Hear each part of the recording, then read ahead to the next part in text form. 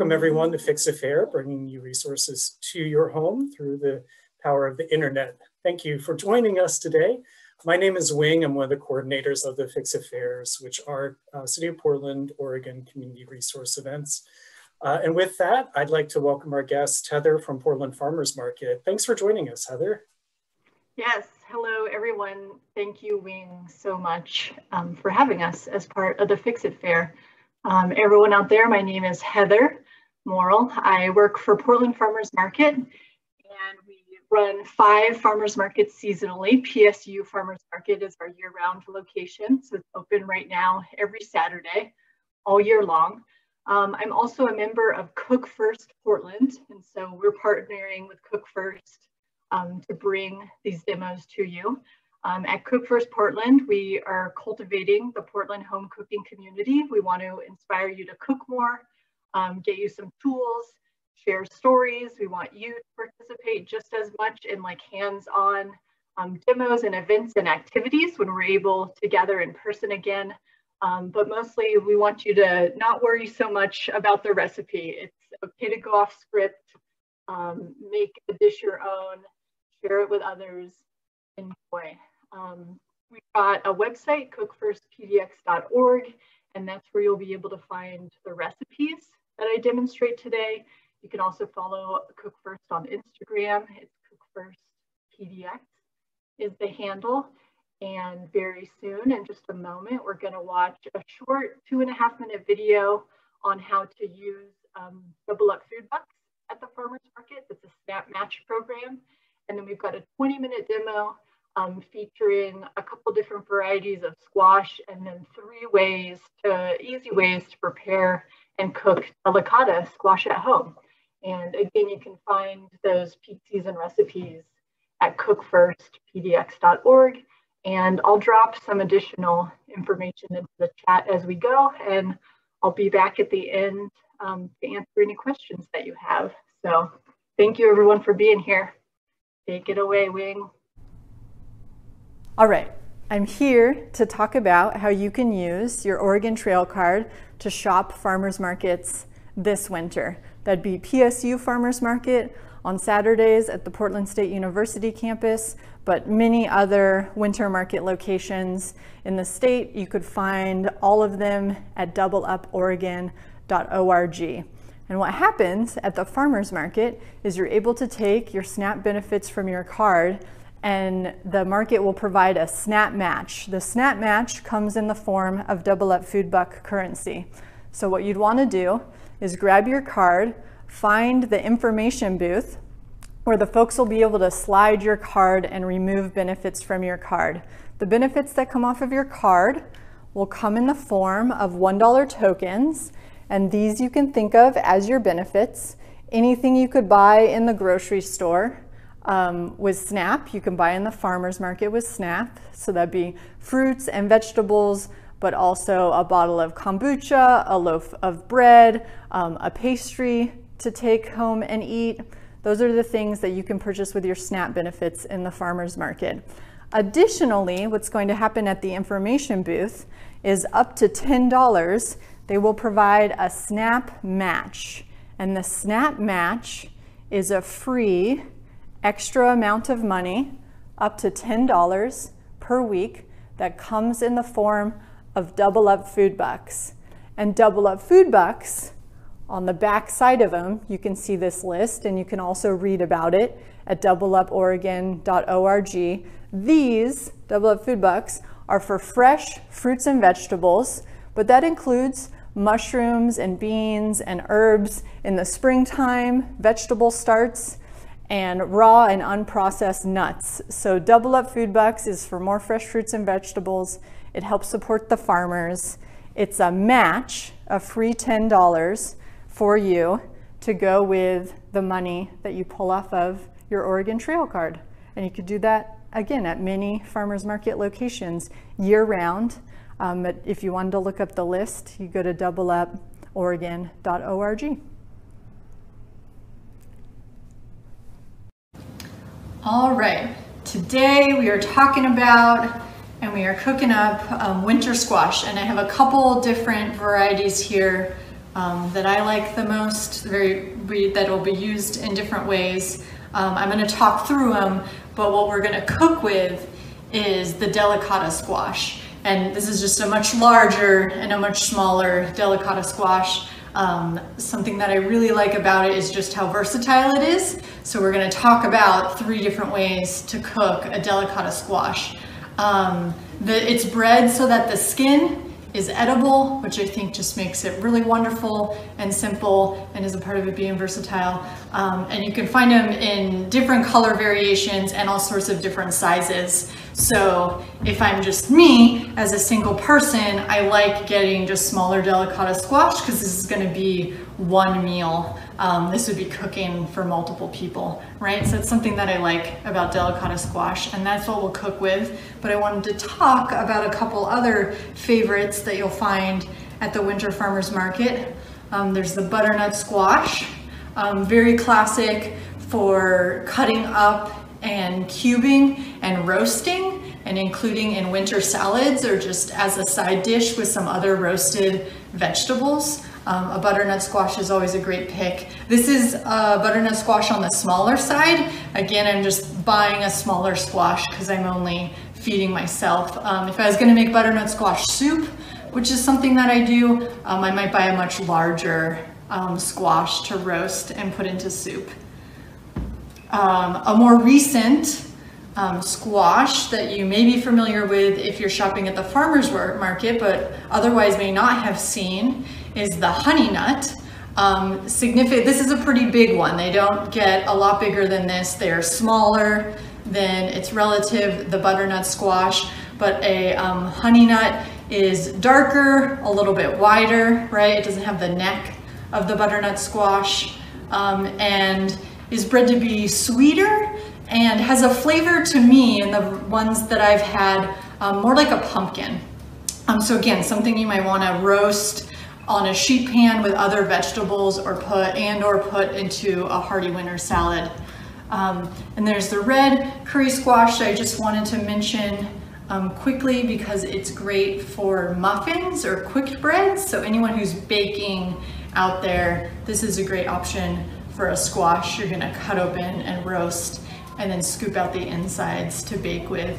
And at the farmer's market, the wonderful thing is you're talking to the people oftentimes who grew your food so you can based on what you're going to do, you can ask um, what type of squash would be best. And the farmer or the person working at the farmer's market for the farmer is most likely going to know and have some tips and tricks for you um, as far as how you want to use the squash. They can offer some suggestions. So here's my little baby delicata. It's like single serving. Um, I'm going to hold it really strong. Try to find like the flattest side of it so it's not going to wiggle around on me. And I am just going to cut it right in half. I've got a pretty good knife, so I was able to do that. If um, the delicata has a, has a stem on top, you just want to make a cut and cut off the stem before cutting it in half. Um, but here is my delicata squash. I've got the seeds inside and I am going to scoop out the seeds just right into my compost bowl. Whatever you've got in the kitchen, right? We'll make it work. Um, and I'm not scooping out a lot of flesh. I'm just, there's still a little bit of the strings inside. I'm perfectly fine with that. Not squeamish about it. I'm just scooping out the seeds. Uh, they're going into my compost, but um, like pumpkin seeds that you may have done with a jack-o'-lantern, um, you can also, of course, roast up any squash seeds. So um, sometimes I might save these and keep them and roast them up um, just have them as a snack or add to another dish. So I've got my cleaned out little delicata squash and I'm just going to prepare it most simply. This I had the stem in it, so I'm gonna discard it. I'm gonna cut it into half moons and the smaller I cut my squash, the quicker it's gonna cook, right? So I'm doing about um, half inch, sorry, quarter inch little half moons. I've got the flat side of the squash facing the cutting board so it's not gonna slip away from me. Just go all the way down. Squash and get it on the pan. Here's my hand full with half moons. Um, and cook up as much or as little as you want. I'm gonna set this squash aside just since I'm showing you these, but you know, if you have a big delicata squash, cut it all into half moons, depending on serving size, how many folks you're feeding. Um, just straight onto the pan. I'm gonna drizzle a little bit of oil, sprinkle a little bit of salt, and grind a little bit of pepper. I didn't mention it, but my oven is preheating. It's on 450. This is pretty hot. I'm gonna take that olive oil, salt and pepper. I'll come around and just toss with my hand. I don't mind. And it's really easy to see when you've coated all your little half moons. They're glistening. They've got their salt and pepper on them. You can do a whole sheet full or however many you want to serve yourself. And these are going to go into the oven. Um, they're going to get caramelized and brown. I slice them so thinly, I'm thinking this will take about 15 minutes. We'll pop them in there and I'll let you know when they come out, how long it took.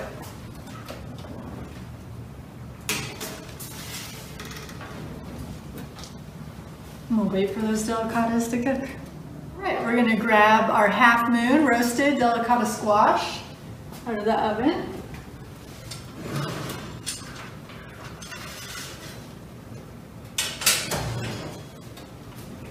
These were in there for a little, for about 12 minutes. Remember we cut them really thin um, and they've got some caramel, caramelization on their on the bottom of them. They've roasted and turned a little bit brown, and so they're ready to eat.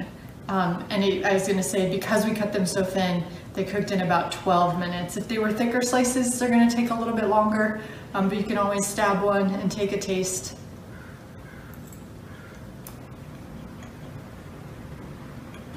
And those are great. Um, delicata squash, you can eat the skin. Super simple and versatile.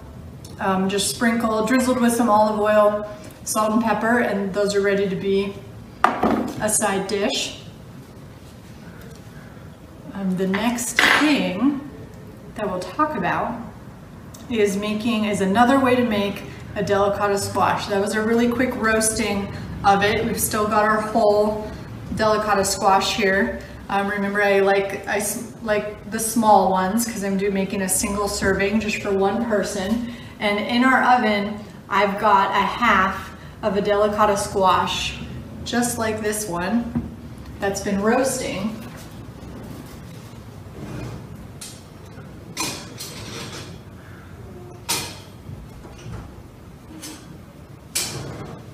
And it's going to serve as the vehicle. It's really hot right now, right? I just pulled it out. It's gonna serve as our bowl to make a stuffed squash and I'll show it to you in just a second.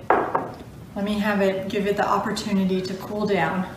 Um, while I talk about what I did, there's another way. Um, if you're at home and you, you don't have an oven, something that I've always thought is very cool is it's simple to cook a small squash in the microwave oven. So I've cut this one open, cut this one in half. Um, I need to scoop out the seeds. I'll put them into my compost bowl. I could save the seeds if I wanted to roast them, like pumpkin seeds, have a little snack. I've got a nice clean scoop, but I'm not too worried about there being some strings. Um, and at this point, if I wanted to put this into the oven or the microwave, um, I just wanna make sure, I wanna check my dish, right? And make sure that it's microwave safe. If I was gonna put it into the oven, I'd wanna make sure it was oven safe. But what I'm going to do with the vessel that I pick, this dish is microwave safe, I'm gonna take my scooped delicata squash and put it flat side down. And this is a pretty shallow plate, but it will work that if I take some water, I put in this bowl, I'm gonna, a little bit's gonna spill, and that's okay. I put water onto this plate and it's creating a seal around the squash. It's hard to see because it's water on a white plate, but there's a very thin layer of water in the bottom of this dish um, that's creating a seal around the squash. I'm gonna pop this half of a squash um, into the microwave after I give it a couple little pierces with a fork. It's still hard, right? I haven't cooked it, but I'm able to take my fork and pierce some holes into it to let steam escape. Um, I'm gonna take this squash, I'm gonna put it into a microwave oven. This squash is very small, so I'm gonna start out with three minutes um, and then give it a test with a fork, poke it, and give it another 60 seconds if needed. As soon as your fork can very cleanly go into the squash, it's ready to eat. Remember this is a delicata, so it has a very thin skin. It's bred so that you're able to eat it. We're gonna be able to eat this whole squash when it's done in the microwave oven. In three minutes, try three minutes, um, and then another about 60 second increments until it's finished. Make sure you've got a microwave safe plate. Um, that's a wonderful way. You could then just cut it up or eat it with a fork. Um, and you could do that with really any type of squash. A delicata is a very quick cooking squash. A bigger squash is gonna have to go a lot longer, um, but you can, you can play that gauged on the size of your squash and the type. Definitely recommend a delicata as a quick cooking microwave squash. Um, and so now, um, to set to set that microwave option aside, I've got a half of a delicata squash that I cooked in the oven. And it's going to be a stuffed squash. It's still, I'm not gonna grab the vessel yet, it's still hot, but I, um, my fork very cleanly um, pierced this delicata squash and it's now a little bowl that I'm gonna fill with a stuffing. Um, so the squash is mostly cooked. You're aiming for it to be about half cooked. Um, I am going to, again, not touch it because it's too hot. I'm gonna set it on my baking dish. My baking dish is cooled down. I'm gonna take off my half moons. We're making squash these three simple ways. Pull my half moons. I'm gonna use the same dish that I just baked my half moons on. I've got my delicata squash, um, half cooked. It was in the oven, again, still at 450 um, for about 10 minutes. So I could pierce it with a fork, but it's not too soft yet. I'm gonna prepare a filling to go inside of it. So I've got most of my ingredients are already ready. We're doing that fancy cooking show situation where some things happened off camera. Um, I've got some wild rice. You could use any type of rice that you like or prefer. Um, making a stuffed squash is a great option for leftover rice. So this was leftover from a meal the other night and I'm gonna use it to stuff a squash. Brown rice would work just as well. Um, quinoa is another grain that you could put into a stuffed squash. I've got some chopped nuts um, walnuts or hazelnuts is something that you could get at the farmer's market this type of year, time of year. I've got some pecans and you could toast them on the oven uh, or on the stove if you wanted to. You could give them a little bit of a toast. And I already sauteed um, half of a very small onion. I've got that here in my bowl. And you'll look at the recipes for proportions. I'm gonna be eyeballing things. I've also got some cranberries and then I'm going to cut some apple is something I really like to include in a stuffed squash. And I'm also gonna cut some celery. So I cleaned this celery rib. Just gonna cut it into nice bite sizes. If you like stuffing, um, like with bread, you can make a filling for a stuffed squash with bread as well. And it's really is, making a stuffed squash is really a choose your own adventure. You want to make things to your taste. You want to make something that you're going to enjoy and you're going to eat. I like the crunch. It's nice to have something crunchy, something savory. We can talk about the different ingredients as they go in.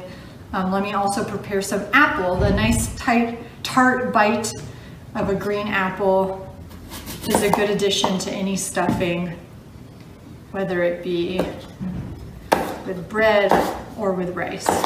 Great use of leftover rice.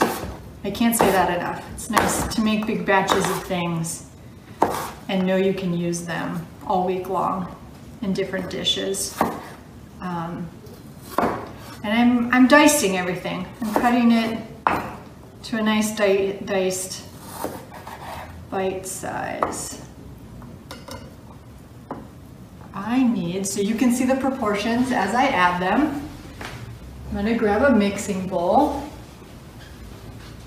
Here it is. So I have got, I'll talk about it as I add it to the bowl. I've got some leftover rice. Um, the proportions, of course, like use the recipe to guide you, but don't get too caught up on that. If you really know you like one of these ingredients, um, celery for a little bit of crunch. So I had a grain or a bread, some celery for a crunch, some nuts, a nice soft easy to eat nut. You could toast it if you want to. Um, some just very slowly sauteed onion. This happened off camera. Just some sauteed onion. Uh, cranberries, always good. Dried cranberries for a little bit of a zing. And some green apple for some little bites. Um, so I have, I have this big old bowl, but I'll bring it over to you so I can tip it and you can see. I think um, something I would have done is made the celery a little bit smaller, but it will certainly work. I like the big apple bites because they're gonna grab onto the fork well. Um, and this is just a good mixture of some, some tart and savory um, ingredients that we are just going to simply, making sure my pan's not hot, it's not, pour into our squash. And remember our squash is half cooked. It was in the oven for 10 minutes already. Um, if you, speaking of catering this to your taste, if you like cheese, um, cheese is a really wonderful addition to stuffed squash. Um, I know it's an unpopular opinion, but I'm not a big cheese fan, but that's something you could add and toss into your mixture. Um, yeah, just a really simple, like choose what you like, use this as a guide, but don't feel like you need to stick to it. Um, here is, you'll see it when it comes out of the oven, but here it is. It's just a mound of that beautiful stuffing um, put into a partially cooked um, delicata squash. That's our little bowl that we're gonna keep it in. And it's gonna go into the oven for another 10 minutes at 450. So it's a pretty hot oven. And really all of these things are cooked or ready to eat. Um, we're just gonna let the flavors um, meld and mix together um, and get and the squash get a little bit more cooked and caramelized and toasty. So it's going into the oven.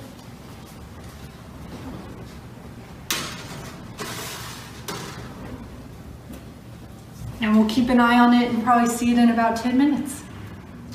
All right, we are ready to pull our stuffed delicata squash out of the oven.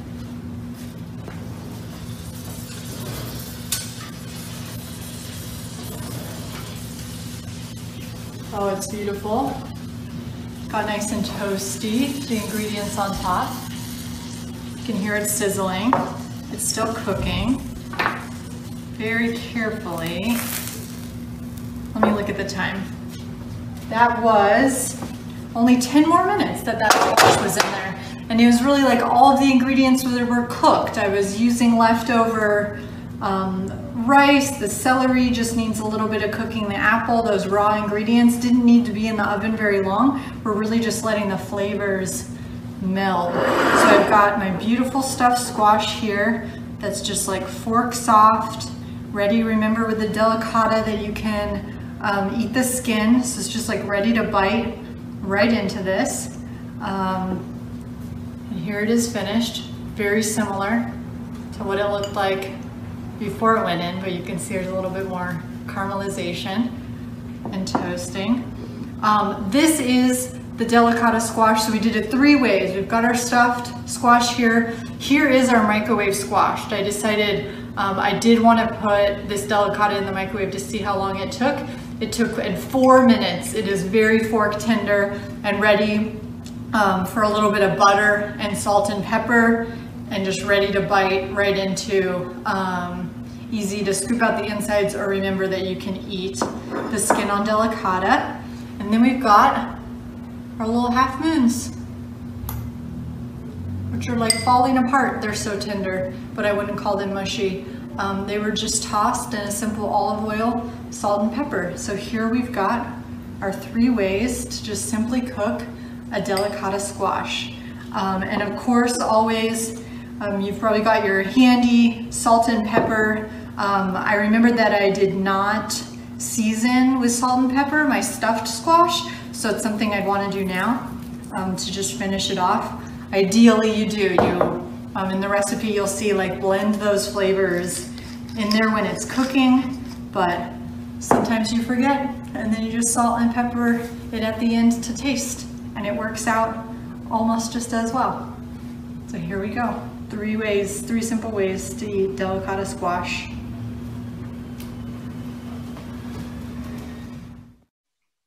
Okay, I um I did want to mention first. I was thinking sometimes like on film, I forget. I'm like, how do I cook this when a camera is pointed at me? I forget what I do at home. Um, so to to use the little using the stuffed squash as a vessel, I definitely would have put like a pat of butter on top of there, and I mentioned salt and pepper at the end was something that I forgot. But that's how I would have like finished that off and scooping the insides um, and mixing the meat of the squash like into that stuffing is how I would have actually like sat down and consumed the dish. Um, I see some questions. The first one is about, or they're all about storing um, winter squash. And so winter squash you can store for um, the length of winter. It's like a two, four month um, period of time. You wanna store them in a cool and dry place. Um, ideally, they're like, they're up on a shelf if you're able to do that rather than like setting them on the floor. Um, I honestly, I have mine um, in just a canvas like produce bag.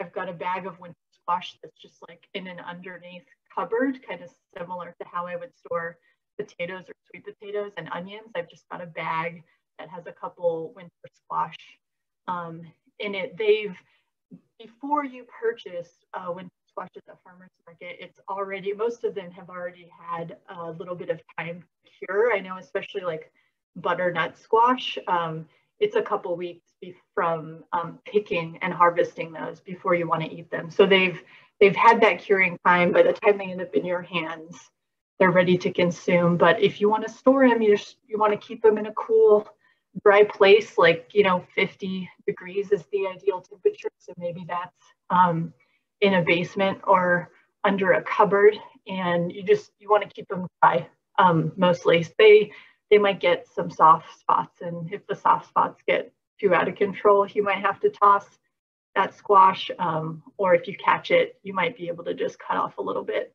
and eat the rest of it. Um, as far as the other part of the question, is keeping them in the refrigerator. Um, you don't need to store a winter squash in the refrigerator. I would store it in a refrigerator if I had cut it open. So if I was preparing only um, half of a delicata squash, I would wrap up the other portion um, and put that in my drawer in the refrigerator. I know that um, the maybe not the Fix It Fair specifically, but Wing has got a line on a wonderful um, piece of collateral that tells you which drawers in the refrigerator um, to keep different produce items in. And I love that. I use it all the time. It's something stuck to my refrigerator door that um, helps me keep, keep track of the storage temperatures and the humidity, the low humidity and the high humidity drawers. Um, what else have we got? I would have, I would, um, Beth also asks about different types of squash having different storage lives and um, I don't know for sure. I would guess that the ones with thicker skins might be able to store a little bit longer, but um, really that two to four month range, they're meant to be harvested in fall or winter and make it through the winter um, is how you'd want to keep them. I thank you. Beth also dropped in there um, a shout out to the Culinary Breeding Network. They um, have a wonderful event going on right now. It's called the Winter Vegetable Sagras and credit where credit is due. Um, for these demos, we are very much following their schedule of the Winter Vegetable Sagras. So if you head on over to Culinary Breeding Network, they are celebrating winter squash um, all week long. And they've got TED style talks with farmers and growers and seed breeders um, there's a recipe demo, I believe it was this morning, but all of those features are archived. You could learn a lot more about winter squash. There is also a wonderful website that the Culinary Breeding Network developed a couple years ago. It's just eatwintersquash.com. Um, and some of my favorite recipes that I just go to year after year um, when it's winter squash season are on there. There's a really great um, butternut squash recipe that I make quite often.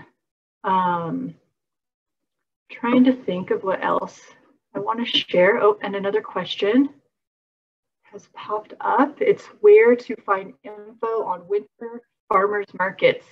So I think that the the best like comprehensive list because there are different organizations um, running different farmers markets. You want to find um, somewhere where they've all been compiled.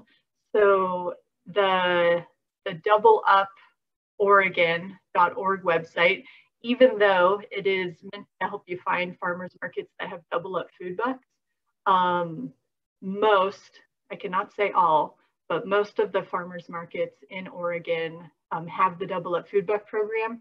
So that they've got an interactive map on their website and it is a comprehensive list of the state's um, farmers markets by season. So it'll tell you which ones are open in the winter. And then it's always fun um, to check out if you're, hmm, I can't say if you're traveling, when we get to travel again across the state, um, to make it a part of your trip to visit farmers markets, especially when you visit um, smaller communities. It's always a great place to check out. So the doubleuporegon.org is a good list of where to find farmers markets across the state. Um, and we've got another one. Yeah, the OFMA website. Thank you. Someone dropped into the chat um, OFMA's website. So the Oregon Farmers Market Association keeps a good list of the seasonal, the seasonal markets, including winter or what they call holiday markets.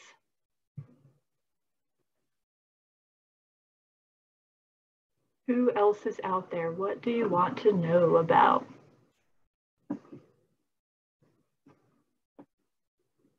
What's next? Great question. Um, so this is only our second of six demonstrations. Um, we're doing them there every other Tuesday at two o'clock. So the next one is coming up on Tuesday, February 9th. And I'm really excited to say that we've got a guest farmer who will be joining us and a guest chef, and we will be celebrating um, all things mushrooms. Mushrooms is a wonderful um, winter vegetable, but something you can find year round in the farmer's market. But I specifically tend to think of it as a fall and winter food. There are some markets, um, or sorry, some mushrooms, the ones that are being foraged um, in the wild that fall and winter is their time to shine. So we'll be celebrating mushrooms with um, Riley. We'll get a farm tour from Riley at Mindful Mushrooms. And we've got a guest chef who's joining us. Um, Mandy King um, is a hot food vendor at the PSU Farmers Market. Money Bowl is her business, um, who will be preparing a dish that I'll keep a secret for now, but a nice one pot dish that features mushrooms. Um, and we'll do a simple saute. And then from there, um, we have more we have more guest chefs that are getting that are getting lined up and will feature some more vegetables. So every other Tuesday, we'll be here celebrating um, all the wonderful finds at the farmers market, and you can sign up to you can register so you'll get an email reminder um, to join us on Zoom, or you can always catch us on Facebook Live. Um, keep reaching out and asking questions even after this live event is over. Um, Portland Farmers Market and Cook First, we're here for you and happy to help get more vegetables onto your plate. So thank you, everyone. Heather, thank you so much for being here today. Really appreciate it. Um, it was a great demo. It was so fun. And the last demonstration, I had to go immediately and buy Brussels sprouts, and now I need to go get some delicata squash. So um, thank you everybody for joining uh, both in the workshop and live. Uh, we'll have recordings of this session along with all of our other sessions up on our website. And uh, you can visit our website to uh, sign up to receive our e-newsletter, which comes out about twice a month and keeps you updated as well. Um, if you're in the Zoom workshop, you'll uh, see a survey. If you fill that out, uh, it helps us to make sure that we're doing the best that we can with these workshops. And you'll also have the opportunity to enter into a raffle uh, for prizes as well as thanks. Heather, thank you again and Cook First and Portland Farmers Market. Um, we will see you in a couple of weeks. Of course, thank you. We are happy to be here. Great, thank you all. Take care.